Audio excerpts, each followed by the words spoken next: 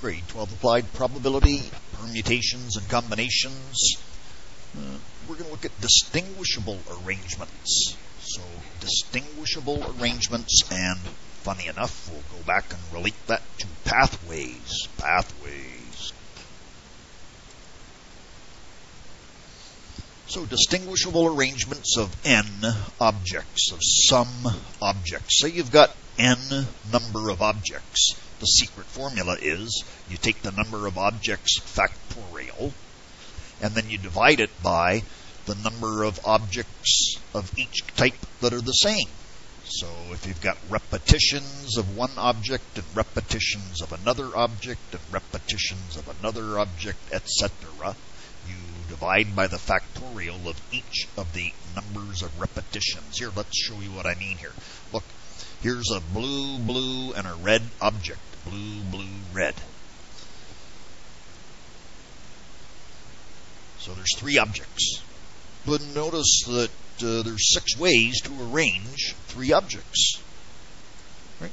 Three times two times one ways. However, notice that two of them look exactly the same. You wouldn't be able to tell them apart if you juggled them around. Two of the objects are identical. So, you know, if you got two the same, so half of the arrangements are going to look the same. So half of the ordered arrangements, if we put them in some order, are really going to look the same. So you can't really say there's six ways to do it. You really got to say there's only three ways to arrange those things because two are the same. So here, I'll just you that. It turns out there's three ways to arrange three objects if two are the same. All right, let me move this out of the way. You ready? Look at that. See? So you could have had blue, blue, red, or you could have snuck the red into the middle there and then had blue, red, blue, or you could have snuck the red to the front and had red, blue, blue. And it doesn't matter if you swap these two guys around because it didn't look any different. So because it doesn't matter, you know, where the blues are because they look like it didn't actually look like a different arrangement. So we had to divide by two. And that all relates to this secret formula. right, let's try another example here distinguishable arrangements. So this is an assignment we did. So here's a word, Skye. All right, I'm using the I'm using the Paw Patrol puppies names, right? Skye. So if there was there's four letters in there. So you take the number of ways to arrange in order those n letters. So if I said how many different words you could make, then you could read, you could juggle around all those letters and come up with uh, yucks and ski and sky and eckies, and there's a lot of different words and quotations you can make. So the secret formula is that. So you're going to take the number of letters, which is four, and you're going to factorialize it. So it's going to be 4 factorial, and it's going to be 24 ways. So if we use all the letters, it's going to be 4 factorial, which is 4 times 3 times 2 times 1, because we used all the letters. So you'll end up with 4 times 3 times 2 times 1, which you'll find is 24. And then, of course, you could divide it by 1 factorial, because there's 1 s, and 1 factorial, because there's 1 y, and 1 factorial, etc., because there's 1 k. But you know what? 1 times 1 times 1 in the bottom You wouldn't bother that. All right, next slide. So here's a word now. All right, now here's a word with two letters the same. Here's rubble. Right, he's the guy on Paw Patrol, the, the guy that likes to fix things. All right, notice there's six total letters, but two of them are B's. All right, so let's do the secret formula for that. All right, so there's your word rubble, and the B's are identical. So there's six letters. So in theory, if they were all different, you'd have six factorial ways to arrange them.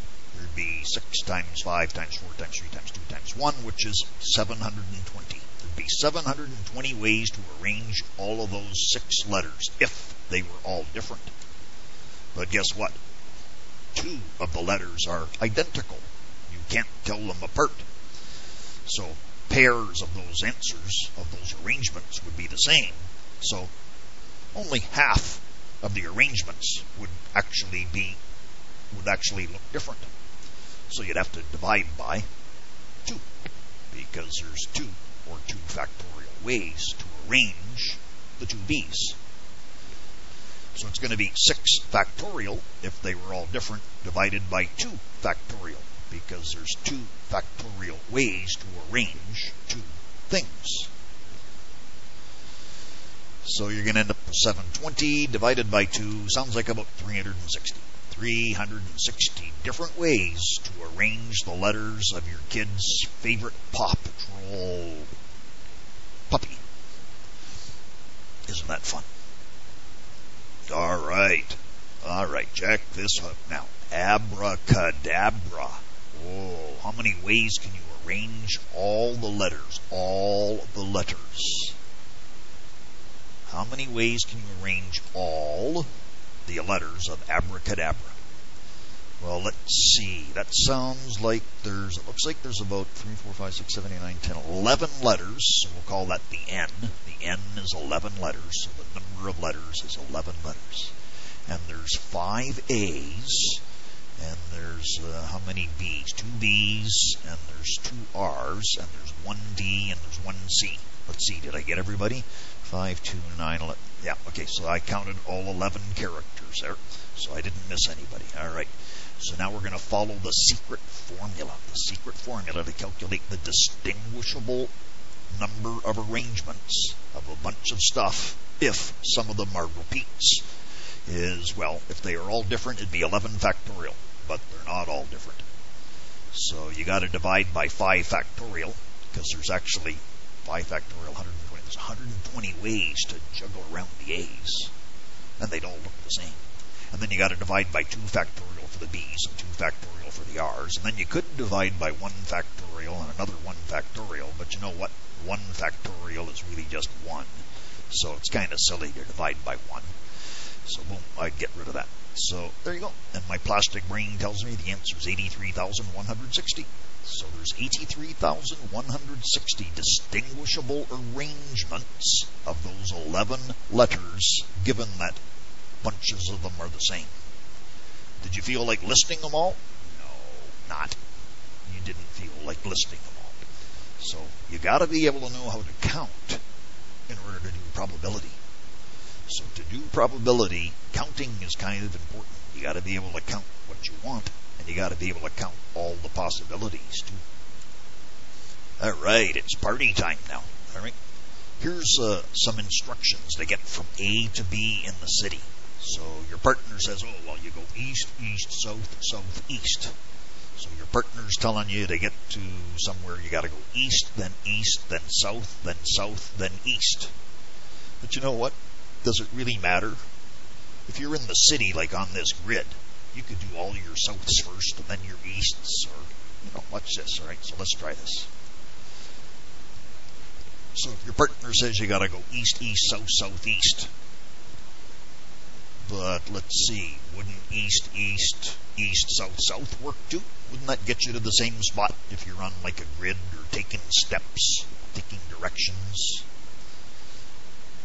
Right, check this out. Here comes east, east, south, southeast. Boom, boom. Right there. Now let's do east, east, east, south, south. Look, you end up at the same spot. Well, let's try something in green. How about uh, east, south, southeast, east? East, south, southeast, east. There you go. You end up at the same spot. How about if you tried another way? How about uh, south, then east, then south, then east, then east? Right? You'd end up there. So you still end up at the same spot. So it turns out the order in which you select these things doesn't really matter because you're still going to get there. As long as you have five steps, right? One, two, three, four, five. You've got to make five steps or five decisions. And as long as three of them are to the east and the remainder two are to the south, then you're definitely going to get to your destination. So it turns out if you want to know how to get there from here, all you had to do was say, well, I had to make five steps. So you could pretend it was five different letters of the alphabet, except that we are stuck with just using S's and E's. And you had to have three easts. and you had to have two souths. And if you didn't have three easts and two souths, you'd miss, so you could just do it this way. Look, 5 factorial, 5, 4, 3, 2, 1, divided by 3, 2, 1 times 2, 1, do a little cross out there, boom, boom. Right, 3, 2, 1 will cancel 3, 2, 1 in the top, and you'll end up with 20 divided by 2 is 10. There we go. So there's 10 distinguishable ways to get there. Let's try another one. All right. So let's see how that applies to our pathways again. So from the previous question, using that idea, how many different routes does it take to go from A to B? Well, here you go. Let's use the secret way I just told you. You got to take five steps. One, two, three, four, five. And out of those five steps, three of them have to be to the east, and two of them have to be to the south. Otherwise, you're going to miss your destination. And let's use that fancy formula. There you go. 5, 4, 3, 2, 1 at the top. 2, 1 in the bottom. 3, 2, 1 in the bottom. Straight, straight. Cancel, cancel. Look at what you look at that. You're left with 10. So it turns out there's 10 ways to get from A to B. And let's do it the old-fashioned way. Remember the first way we learned how to do it? Using the Pythagorean, correction, the Pascal's triangle. Remember doing this stuff? Well, let's do it Let's put it on its side. So you go 1, 1, 1, 2, 3, 4, 3, 6, 10. Boom. There's your, Look at that. It's 10. Exactly the same thing we figured out when we used this formula. Look at that. The formula is a little bit quicker, especially when you get to something like this. Woohoo. Oh my goodness. All right. All right. So pause this. Read it. So we want to go from P to Q. And of course, you're only allowed to go north or east. So how many total steps do you need to take? Well, let's see. To go from P to Q, somewhere along the line, you got to do uh, that steps and a bunch of easts. So you got to do 13 total steps. 1, 2, 3, 4, 5, 6, 7, 8, 9, 10, 11, 12, 13 steps. You got to decide 13 times which direction to go. Now, how many of those have to be east? Right? Obviously, five of them have to be east. One, two, three, four, five. If you go six to the east, you're going to go past or miss your cue. You don't want to do that. So that means how many must be to the north? Well, eight of them must be to the north. Well, if there was 13 total and five of them were east, doesn't that mean that eight of them, one, two, three, four, five, six, seven, eight, have to be to the north? So there we go. We just want a bunch of easts and norths in our instructions. So there's 13 factorial divided by 5 factorial, 8 factorial. Don't forget to put this in brackets. If you're going to do this on a calculator, make sure the entire bottom is divided. All right. So I get 1,287. Well, let's see if we can do it using the Pascal method. Let's just add up all the corners. Here you go. Are you ready? Watch this. I'm just going to speed it up. There you go. So it better work out to 1,287. Oh, please. I hope it does. Please. I hope I didn't mess it up. Here we go. Survey says. Boom. Hey, it does. It worked out to 1,287. Nice. All right, next slide. Now, let's pretend we're going to see, let, us pretend we're going to go from P to Q, but we're going to go via Z. Maybe that's the pop shop or the vendor or something. So how many paths go from P to Z? Well, isn't it 7 factorial? Look, one, two, three, four, five, six, seven. You need 7 steps, and 6 of them have to be up. So you end up with 7 factorial over 6 factorial and you end up with uh, 7 times 6 times 5 times 4 times 3 times 2 times 1 divided by 6 times 5 times 4 times 3 times 2 times 1. You end up with boom, boom, 7. My goodness, you end up with 7. Alright, so let's figure it out for how many paths from Z to Q. So how many paths from Z to Q? Let me see. Uh, there's going to be how many steps that we take? One, two, three, four, five, six total steps.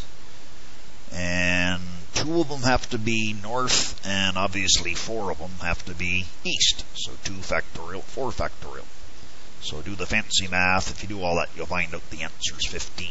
Use your plastic brain if you want. Don't forget to put this part in brackets if you're just going to do a divide with one big number.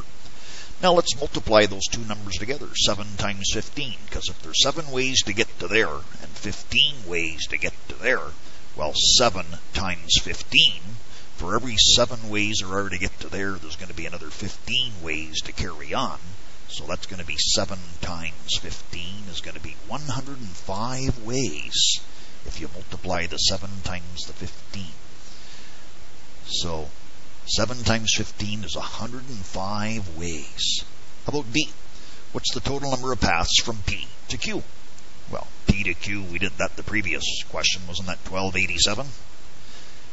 So if I said, what's the probability that as you randomly walk from P to Q that you go past the vendor? Or point Z, rather. Well, here's how you calculate probability. You calculate uh, what you're looking for, so the routes that go past Z, compared to all the possibilities, all the possible routes. So 105 divided by 1287 is 8.16%. So there's an 8.16% chance that you'll wander past Z as you randomly work your way towards Q. Kind of handy, eh? Alright, so we did all that. Now let's use Pascal's method. Alright, so we know this method already. We know how to do it using the formulas. Let's just make sure that it works with the Pascal method as well. Alright, because we got 105 last time. Let's start it again. Here we go. So let's see. We already got 105 to go from P to Q via Z. Let's see if we can do it using Pascal. Well, if you're using the Pascal method, don't forget if you have to go through Z, then obviously you didn't make it over to here. Because if you made it onto one of those roads, then you're not going to make it through Z, right? You would have missed Z. So don't go counting the routes that would make you miss the point you're looking for. So obviously we're not going to be over there. We're not going to be there. We're not going to get there from here. So I'm just going to get rid of them. You ready? You can't go on any of those X'd out routes. They're just not there. They're not an option. So don't count things that aren't an option. So all I'm going to do is watch this. I'm just going to go, well, those ones don't count. Boom, boom. There you go. So I got rid of them because you're not allowed to go there. All right, now let's do the the adding up with the Pascal triangle trick there. You ready? Here we go. All right, so all of these get ones on the outside. And boom, boom, boom. Look at that. Seven. There's seven ways to get to Z. Now let's carry on. Isn't it going to be sevens the rest of the way on the outside? So there's seven ways to get from P to Z. Now we got to go from Z to Q. So let's carry on. Let's just carry on with the numbers. Let's not start renumbering again. Let's just carry on with the seven. So that'll be a seven, and that'll be a seven. So this will be a seven as well, and seven, seven, seven. Taking an extra step doesn't change the number of routes. So that'll be a 14, 21, 21, 42, 28, 70, what's this going to be? 35, 70, 105. Look at this one. Isn't that what we said last time? Isn't that nice? So it does work. So the formula method is quite a bit quicker, obviously. And one last slide here. Let's try this one. How many ways can the bug get from C to D? So pause it, think about it. How many paths or routes can a bug take to go from C to D?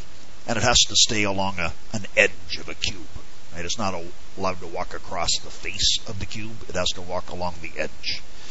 So it looks to me like it's only got three choices, right? It can go to the, well, here, let's animate this. Alright, so it can go to the right, or it can go up, or it so right and up, or it could go in. Let's call that direction in.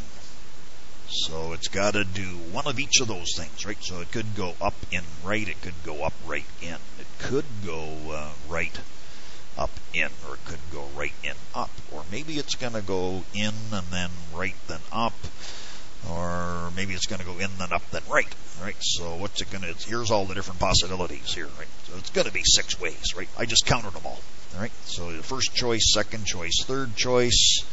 Turns out it's going to be well. Let's let's use the secret formula we learned. Right? The secret formula that we learned was you take the number of moves, 3 factorial, and divide it by, you're only going to have one of each, so it'll be 3 factorial over 1 factorial, 1 factorial, 1 factorial, which is really 3 times 2 times 1, which is really 6, which is what we said when we did it that way. So there's all the different routes the bug can take. Neat. Alright, so that completes that. And that's what we did on Tuesday. Uh, there we go. Let's conclude.